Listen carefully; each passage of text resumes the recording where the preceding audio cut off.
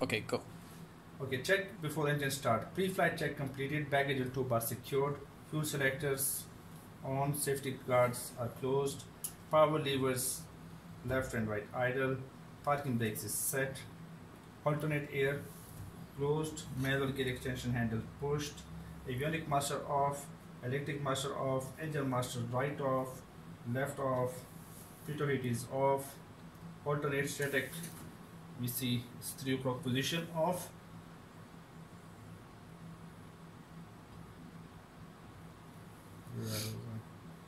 alternators uh, left auto uh, left on right on ECU swap left auto right auto all switches off emergency switch off and guarded. ELT is armed. Circuit breakers we just see all in flap selector up. Area around the engines are clear. Electric master on. Rudder pedals adjusted my side. Flight controls controls clear. Fully and free movement. Trims rudder trim neutral. Elevator trim. Fully forward unrestricted. Fully backward unrestricted back to the takeoff position. Gear warnings plus lights fire detector button press. Right engine fire light on, left engine fire light on, three greens, unsafe light on and aural warning is heard. Flaps to landing, usually checked, flaps going to landing. Variable elevator backstop check control stick aft and hold power levers to max. You can see the stick is trying to move forward. So check backstop limit decreasing power levers idle check backstop limit increasing. Flaps up left going up right going up. Passengers not required seat fasten my side fasten check your side as well. Rear door is closed and latched.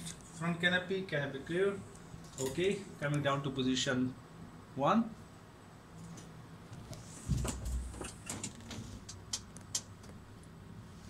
okay G1000 powered and before I acknowledge I must check that the aviation data is not expired. In actual aircraft it shouldn't be expired and then I acknowledge it.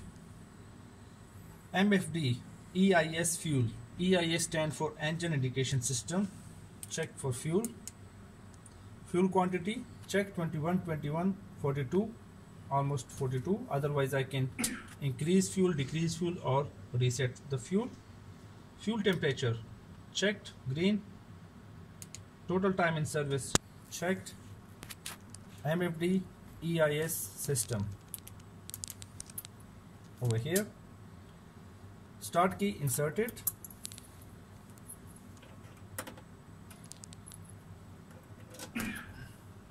power levers idle ACS strobe on. Now before I go for the start procedure display backup button press and I will select system here so that I have one column of instruments over here another column of instruments over here to be glanced at the time. Okay propeller area is clear. Left engine master on. Play prop. Hold the brakes and throttle waiting for the left glow indication to go off and then I'll have my eyes on the RPM glow indication off starting the engine. Don't leave below before 500 1001 1002 1003 oil pressure out of flat within 3 seconds. Voltage electrical load in green. No fire no smoke no leak. Now I'll start the timer 40 seconds in these 40 seconds start glide. Glide speed is 82 knots.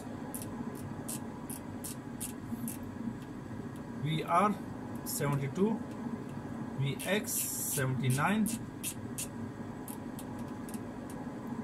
VY 82 194 156 and minimums we set to 400 feet.